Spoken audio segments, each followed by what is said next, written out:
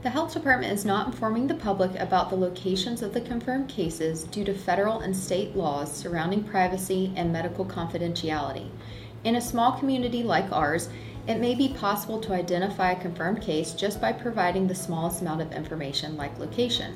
This has happened in other counties during similar outbreaks and led to unfortunate consequences for the individual and the entity releasing the information.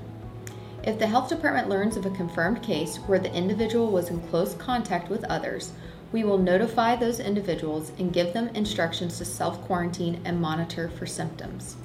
Close contact is defined as within six feet of a confirmed case for more than 10 minutes. For more Carteret County specific information about COVID 19, contact us at 252 726 7060 or visit us online at carteretcountync.gov.